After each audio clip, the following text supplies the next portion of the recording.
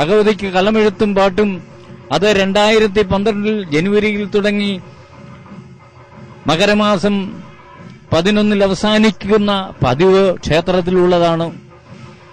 ഓരോ വർഷവും ഭക്തജനങ്ങളിൽ ഉത്തമ വിശ്വാസികളായവർ അതിനുള്ള സൗകര്യം ക്ഷേത്ര ഭരണസമിതിയെ കണ്ട് നേരത്തെ വാങ്ങാറുണ്ട്.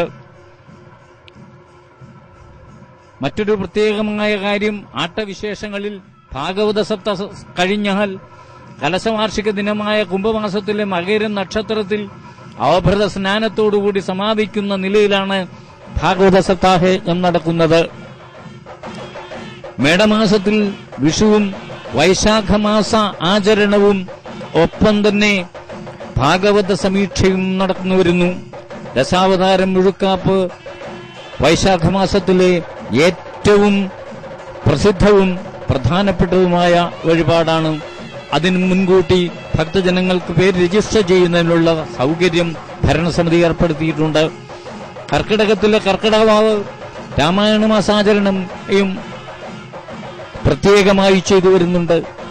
ആണ്ടുപിറപ്പ് വിനായക ചതുർത്ഥി അഷ്ടമിരോഹിണി തുടങ്ങി ചിങ്ങമാസത്തിലെ പ്രത്യേക വിശേഷ ദിവസങ്ങളും എടുത്തു പറയേണ്ടതാണ്.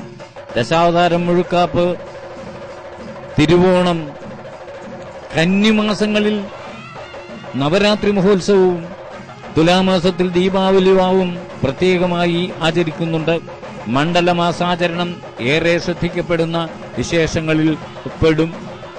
തൊള്ളായിരത്തി അൻപത്തി മൂന്നാം നമ്പർ എൻ എസ് എസ് കരയോഗത്തിന്റെ ഉടമസ്ഥതയിലാണ് ക്ഷേത്രഭരണം നടക്കുന്നത്. വേഴപ്പറമ്പ് മനയിൽ ബ്രഹ്മശ്രീ ദാമോദരൻ നമ്പൂതിരി ക്ഷേത്രതന്ത്രിയും ഇലഞ്ഞിക്കൽ മഠത്തിൽ ശ്രീനിവാസൻ പോറ്റി ക്ഷേത്ര മേൽശാന്തിയുമാണ്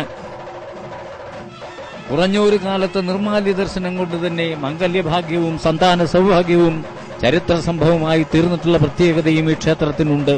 വിഷ്ണു സഹസ്രനാമാർച്ചനയും സ്വയംവര മന്ത്രാർച്ചനയും സന്താനഗോപാല മന്ത്രാർച്ചനയും പിതൃപ്രീതിക്ക് വേണ്ടിയുള്ള നമസ്കാരാദികളും വളരെ ശ്രേഷ്ഠമായി കരുതി നടത്തിവരുന്നതിന്റെ ഫലപ്രാപ്തി ഇവിടെ സൂചിതമാണ്.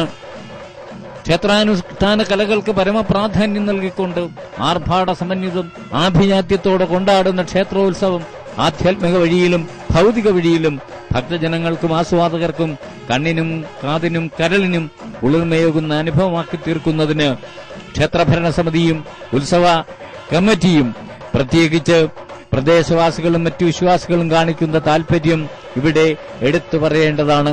ആലപ്പുഴ ജില്ലയിൽ കരപ്പുറത്ത് ചേർത്തല അരുക്കുറ്റി റൂട്ടിൽ ചേർത്തലയിൽ നിന്ന് നാല് കിലോമീറ്റർ വടക്ക് മാറിയും അരുക്കുറ്റിയിൽ നിന്ന് ഇരുപത് കിലോമീറ്റർ തെക്ക് മാറിയും.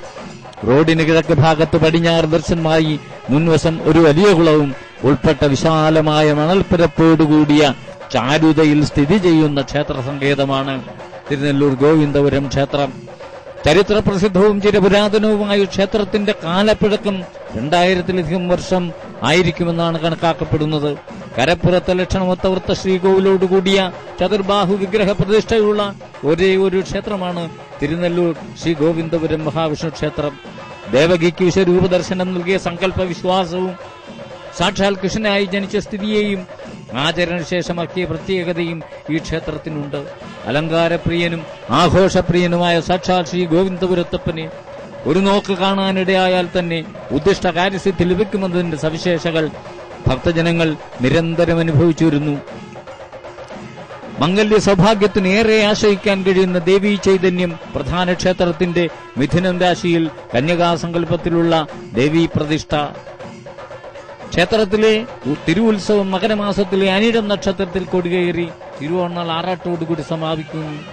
ക്ഷേത്രാനുഷ്ഠാന കലകൾക്ക് പരമപ്രാധാന്യം നൽകിക്കൊണ്ട് ആർഭാട സമന്വിതം ആഭിജാത്യത്തോട് കൊണ്ടാടുന്ന ക്ഷേത്രോത്സവം ആധ്യാത്മിക വഴിയിലും ഭൗതിക വഴിയിലും ഭക്തജനങ്ങൾക്കും ആസ്വാദകർക്കും കണ്ണിനും കാതിനും കരളിനും കുളിരേകുന്ന അനുഭവമാക്കി തീർക്കുന്നതിന് ക്ഷേത്ര ഭരണസമിതിയും പ്രദേശവാസികളും മറ്റു വിശ്വാസികളും കാണിക്കുന്ന താൽപര്യം എടുത്തു പറയേണ്ടതാണ്.